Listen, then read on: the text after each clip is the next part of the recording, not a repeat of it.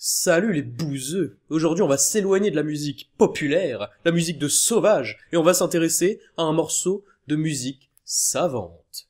Le premier mouvement de la cinquième symphonie de Franz Schubert. T'es sérieux là? Du classique?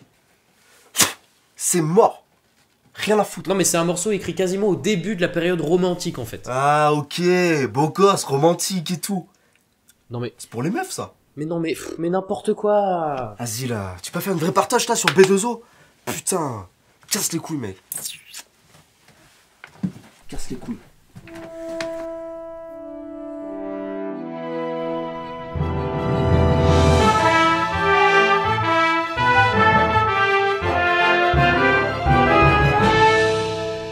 La partoche 14 est ouverte. Aujourd'hui, on va s'intéresser à une musique qui a été écrite à la toute fin de la période classique par un Franz Schubert âgé de 19 ans. Ce morceau est intéressant parce qu'il est fortement inspiré d'œuvres typiquement classiques, malgré le style romantique naissant que Schubert va finir par adopter. Pour être plus visuel, on voit sur cette magnifique frise l'évolution des styles musicaux. On commence avec le baroque au milieu du XVIe siècle, puis la musique classique, le romantique à partir de la fin du 18e, et ensuite le moderne 1890 qui précède le contemporain 1950.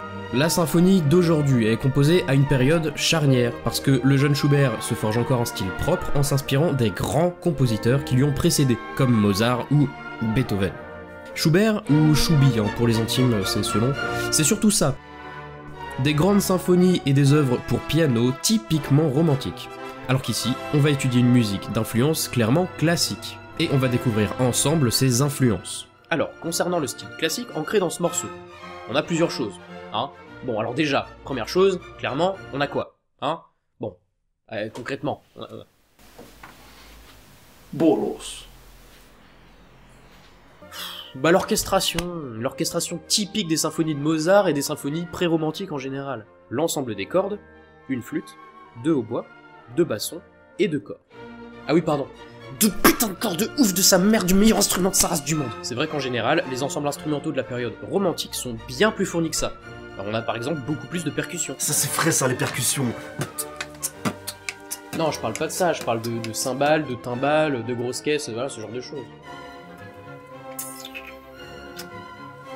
On peut rajouter une harpe, ou alors plus de bois, comme par exemple du corps anglais, ou alors de la clarinette basse. Et puis on peut aussi rajouter plus de cuivre, comme par exemple plus de trompettes, ou alors plus de trombones, ou alors... Oh... Plus de corps. Eh, fais, fais écouter un deux spi ton corps là. Vite fait, vite fait, vite fait, vite fait. Fais écouter ton corps là. Oh, c'est de la merde. Oh, sale. C'est de la grosse merde. Bolos va. C'est ça, barre-toi, t'apprécies pas la pure beauté. Jessica Alba, c'est ça la pure beauté, mon frère Et sinon, on peut rajouter du tuba. Comparé avec la formation instrumentale de la danse macabre, qui elle est totalement romantique. Après, ce mouvement est typiquement d'inspiration classique à cause de sa forme sonate. C'est une structure musicale caractéristique de la période. La forme sonate est constituée de trois parties. Deux expositions qui sont identiques ou presque, dans lesquelles on a en général deux thèmes, l'un rapide, l'autre lent,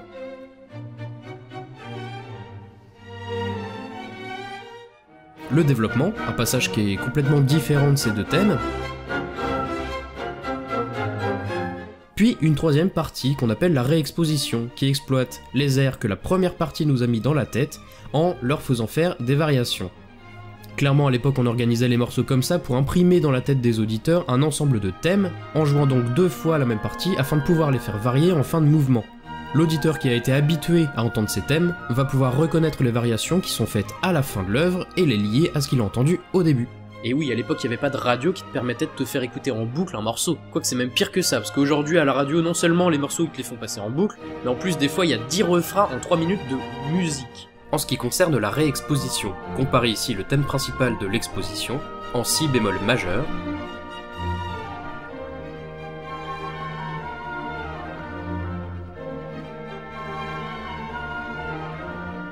avec sa variation dans la réexposition. Notez que nous sommes passés en mi bémol majeur, c'est-à-dire qu'on a tout transposé deux tons et demi dans l'aigu. En plus, observez le jeu du basson qui est tout différent. Dans le même principe, écoutez aussi l'introduction des deux expositions au bois. Et maintenant, sa variation dans le développement, la deuxième partie de la forme sonate.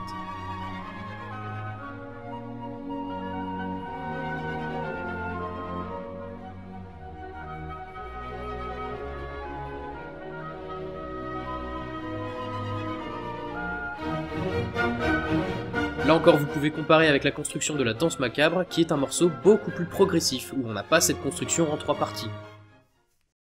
Ensuite, la grande différence entre ce morceau classique et un morceau typiquement romantique va se porter sur les styles propres de ces deux genres musicaux. La musique classique voit l'apparition de la musique galante, qui privilégie les mélodies accompagnées uniques, simples et qui sont faites pour plaire. Eh vas-y, mais tu te fous de nos gueules? Galant et romantique, c'est la même connerie, mon frère C'est un truc de baltringue Le classique se caractérise donc par la mélodie accompagnée, introduite à la période baroque, mais aussi et surtout par la fixation des règles de l'harmonie. Ici par exemple, on a typiquement du classique.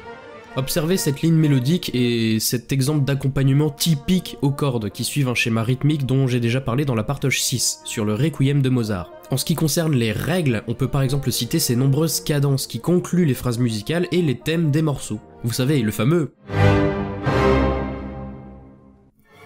alors que le romantisme va commencer à aller plus loin dans l'expression des sentiments.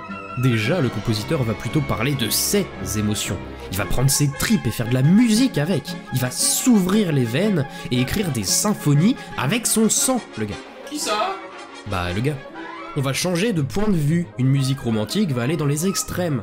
Soit très doux et très lyrique, soit très violent, très puissant, etc. Elle va être également plus riche au niveau de l'orchestration, d'un point de vue technique. Et donc, en ce qui concerne ces règles, on est ici encore plus libre qu'au classique.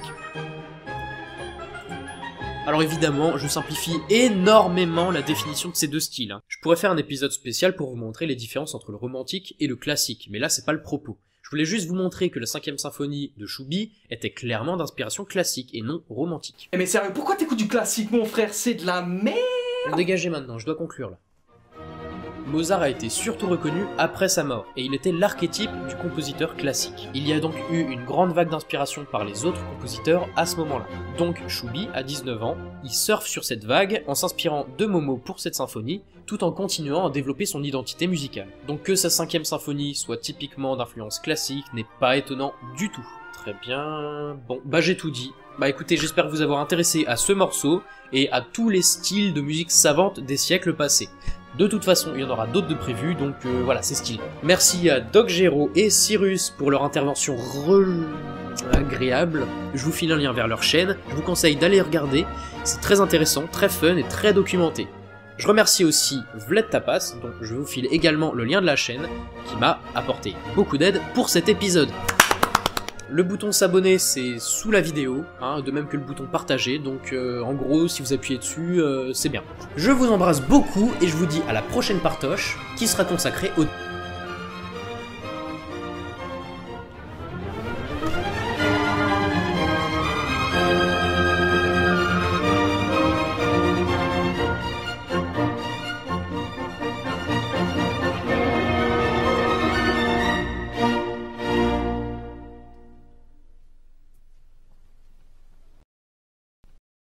Deux putains de corps de ouf de sa mère du meilleur instrument de sa race du monde.